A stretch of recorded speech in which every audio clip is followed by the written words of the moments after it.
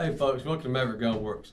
I'm going to uh, give you a little overview of something we don't see a whole lot of, is the uh, fairly new Kel-Tec uh, PMR 30. It's a super lightweight gun that uh, shoots 22 Magnum rimfire cartridges. It's a cool little gun made in Florida. Uh, here we have that gun. This was is is a uh, green version. They have a tan and a black, and or flat dark earth, I guess it is what they call it. Anyway, cool gun. I've been surprised at how lightweight this is. There's a whole lot of plastic on it. It's a polymer uh, composite kind of thing. So uh, it is very lightweight. We're going to take it apart and show you a little bit about how it works. A couple, a couple of the uh, cool features about it. We have the uh, fiber optic sights on it. So you have the orange in the back, gives you two dots in the back. In front, uh, we have with this one from the factory arrives with a green one. And uh, something about that in the box that came with it, they also give you a couple of other choices. You have a red and a white uh, fiber optic that you can change out for your front sight. Gives you a little different uh, view if you wanted to do that. All right. Here we have an ambidextrous safety lever. All right, see there? Right-handed or left-handed. Okay. Also with this firearm, see that's, that's your, your safety is on. That's the safety is pretty much uh, the only lever you got to deal with as far as uh, right or left-handed. Your magazine release is on the very bottom of the grip. So you push your push this one in rather than on the side of the uh, grip like a lot of them are. Your magazine comes out. The cotton picking thing holds 30 rounds of 22 Magnum ammo. That is that is very cool. I like that idea. A lot less reloading to have to do. Okay. And what else we have here? We have a Picatinny rail made into the bottom of the frame also. Gives you the option of being able to mount uh, some optics or a laser or light, whatever you want to put on there. That cool? And what else we have about this thing? Um, let's go ahead and, and uh, take it apart here and show you a little bit about how to field strip it. Do some uh, some typical cleaning if you're going to own a gun like this. Uh, and then that being the case, we always open our slide, make sure that the chamber is empty. Okay, we're good to go there.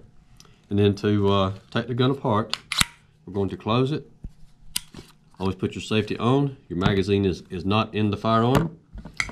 We have a takedown pin on the side of this one. We're going to push that pin in. And with this being what it is, we may have to put a little bit of pressure on it. I'm going to bump it with a brass punch here. So we can move our takedown pin out. There we go. Push that pin out. So we got our takedown pin. Put it over to the side so I don't roll it off the table here. And all we have to do from that is just slide the, the uh, top of the uh, frame, the slide actually slides forward. It comes right off. Pretty cool. Okay, and with that, now to take your upper assembly field stripped apart, we're going to pull the tension off our recoil spring here. It's a little bit challenging. You have to grip the spring pretty good. Pull it forward toward the muzzle end of the barrel until you get tension off of it enough that it disengages from your locking block. Okay. Make sure you have a good grip on this thing because it takes a little bit of pressure to pull it out. Okay, there's a recoil spring. And we remove our buffer. This has a buffer in the front of it. A little plastic buffer here. And when we put it in, you notice how, how it's positioned when it comes out of the gun. It does have a, a correct way and, a, and an incorrect way to put it back in. So make sure when you put it back in that you do use the, uh, put it, position it so that these shoulders uh, step is designed so that it faces towards the frame of the gun. That way your recoil spring, the end of your recoil spring sits right here in this little pocket. Okay, and we'll go over that again when we put it back in. And with that, all we do is push our, our locking block forward until it hits the slot. If you look in the frame, we have a slot right there that the locking block will disengage from. We'll pull it up here. And when it gets just the right spot, see your locking block comes up. And now your barrel comes out. That's all there is to it.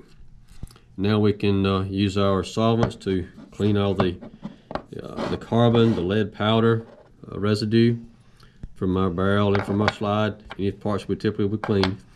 One footnote about that though, being said, this is a polymer gun and it has the fiber optic tubes on it. You got to keep in mind that these fiber optics are nothing but a plastic tube literally. They are not sealed in this particular model gun. So if you use the wrong solvents, you will destroy your melt your fiber optic and also could damage the polymer on your frame. So make sure that when you're uh, using your solvents, you use something that is plastic safe for this kind of gun. All right. And with that, we'll run the solvents down there. We'll let them sit for five minutes or so. Um, and if you shoot the gun a lot, as with any firearm, you get a lot of buildup, possibly of uh, lead and, and copper. You may have to do a little extra scrubbing and some more aggressive solvents on the barrel, for example, to get all the uh, buildup out of that. All right, we got that done. We're going to put a lightweight, a little light oil back into uh, these sliding surfaces um, of the metal parts that are going to be uh, going to need to be lubricated. And then we're going to put our barrel locking block back in place with our little notches. If you look at it, make show you did that too. You have a notch right here that also will mate with the notches in the bottom of the frame. Okay, so it only fits one way to make it work right. And that being the case, it also drops down back into the blocks that are milled out into the into these recesses. That also coincides with the square blocks on your barrel. All right, so it's got to be everything lined up and it'll slide right back in place. That's all there is to it. Now we're going to put our our buffer back in place. Naturally, with our larger arch fits onto your barrel, and with the recessed pocket facing facing your grip, put our recoil spring back in. The larger end of the spring here is going to fit into your buffer. Right, so put that back in right here into the buffer. And now we grab the slide and push our spring forward. All right, we'll hold the block in place, push the spring forward and it drops right down, snaps in place right into your locking block. And there you go. Now she's ready to put back together. Right. And now for your for your framework, um, same thing. We're just going to put a little bit of solvent. Make sure it's plastic safe solvent on our uh, components in here and you're probably not going to have a lot of residue in here. Most of it's going to be in your in your upper. Uh, anyway, we'll clean that up, put a, a very light film, a couple drops of oil, and uh, wipe it off to keep a light lubricating film on the on the uh, moving components. And here we're going to slip our slide back onto the frame. And if you'll notice, the only part that really grips on the, on the frame between the frame and the and the upper are the slots that are on our locking block. And they will have to engage right about, if I catch it right here, because there are slots milled, made, molded into the frame. So we'll put that locking block down where it engages and slide it back and that's ready to go. Now we'll just drop our our assembly takedown pin back in place snap it in, and she's ready to go. And just for my own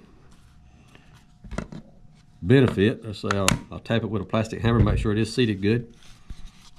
And here we're ready to go. That's how you field strip and do your basic cleaning on it. and with that, let's do a trigger pull test too for stuff since I've got it here. Um, and with any, uh, with as with any, especially with any rim fire cartridge, now, the book, owner's manual on this thing tells you you can dry fire it, but just don't make a habit of it. Personally, I just prefer to put a, a dummy round into my chamber. And this is a dummy round. You can see right here it says 22 long rifle LR dummy round. So we're going to place that in the chamber so we don't damage our firing pin. Right, close our slide. And with that, we take our safety off. And let's see what the trigger pull feels like on this one. Because this is a, I've never seen one of these guns before actually. It's been a cool little deal to investigate it and been really surprised at how lightweight it is. Let's see what the trigger feels like. Oh man, that's pretty cool. That's only three and a quarter pounds. That's amazing. Yeah, that's pretty cool. I'm gonna, I'm looking forward to being able to play with one of these out at the range sometime.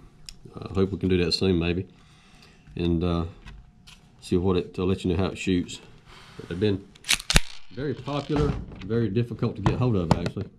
Um, so anyway, with that, that gives you my uh, my two cents about the uh, the Kel-Tec PMR 30. A cool little 30 round 22 Magnum semi-automatic that I believe is going to be a lot of fun. Okay. Thank you guys for, for checking out Maverick Gun Works, and if there's something we can help you with, uh, send us a comment.